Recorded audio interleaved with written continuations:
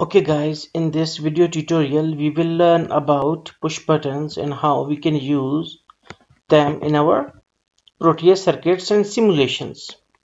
It is a very basic tutorial so you should have to uh, listen and learn it properly. So first of all you can click on P devices parts and select push and buttons and here you can see that here it is mentioned button then active and then SPST push button. So what actually it means? It means that active means that it shows us it's like a, a moving action. And SPST means that it is single pole single throw push button. Means that no double throws just single uh, pole and single throw so so we have selected it. So here you can see that we have selected a push button. It can latch uh, latch means it can uh, like uh, when you when you click this red dot it can it can do latching action like uh, uh, this action. That is when we just click on the button it is momentary action it is for a moment.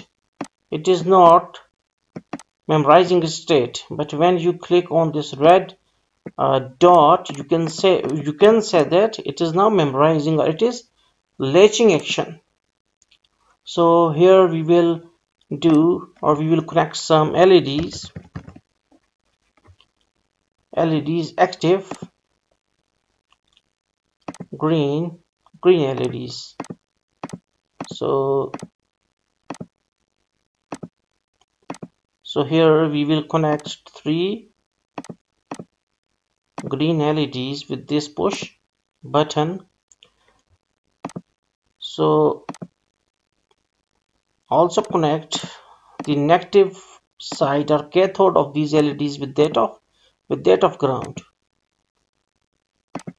So here we can say that we have connected three LEDs positive with uh, positive all are connected with each other and negative they all are connected and grounded as well. Okay now attach here the button one side. Now these LEDs are in parallel with each other but with switch they are in series. So you can also take one battery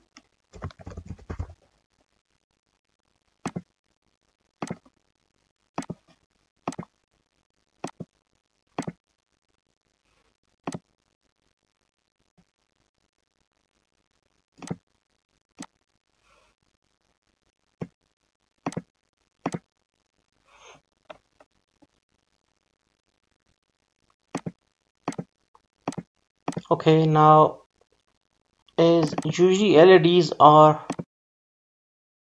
active on 2.2 volts green LEDs so here you should have to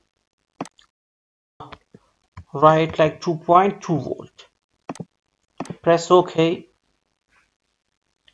And then you can run it.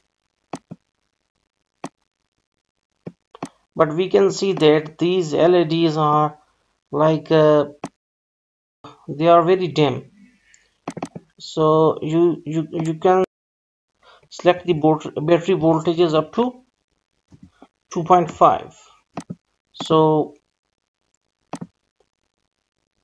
now now we can we can say that now LEDs are uh, running quite well.